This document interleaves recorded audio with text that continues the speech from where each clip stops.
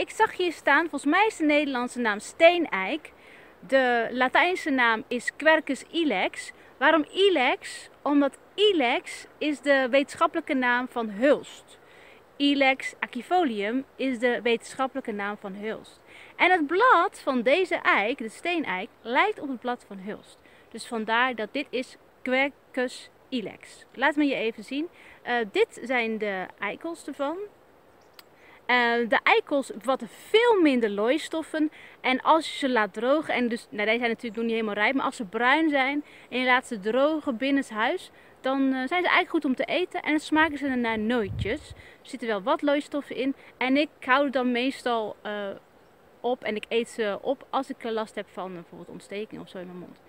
Dus, maar goed, het zijn ook hele lekkere nootjes. Ik zal even de struik of de bomen, want het is, natuurlijk, het is maar een vrij lage boom eigenlijk, laat ik je zien. Kijk, dit is dus steeneik, oftewel Ilex acifolium. En in eerste instantie, als je dan naar het blad kijkt, zie je, dat lijkt heel erg op hulst, zie je? Zo met die puntjes zo hier zo, zie je?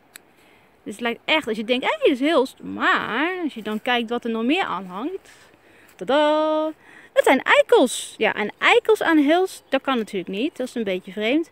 Dus dit is steeneik, oftewel Quercus ilex. Leuk hè?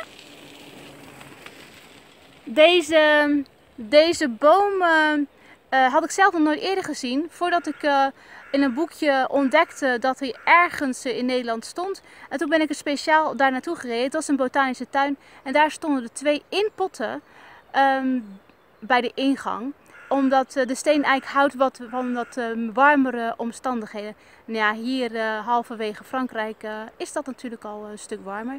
Dus vandaar dat hij het hier gewoon heel goed ook in het wild doet.